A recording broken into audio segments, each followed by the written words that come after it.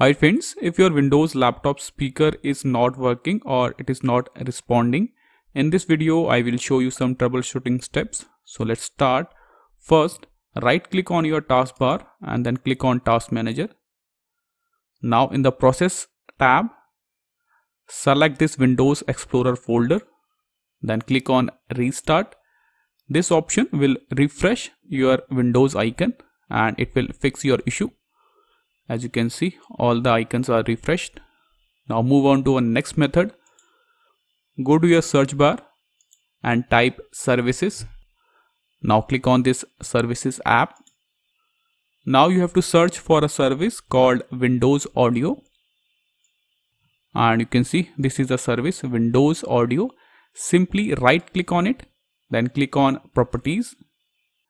And make sure the startup type will be automatic and this service is in running condition. As you can see the service is running.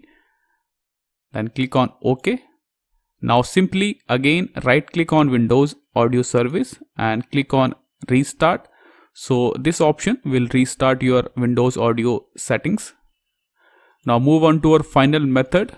The final method is simply restart your system and it will fix your audio issue. So this is all for the video Thank you. Thanks for watching TechWhite. Have a nice day.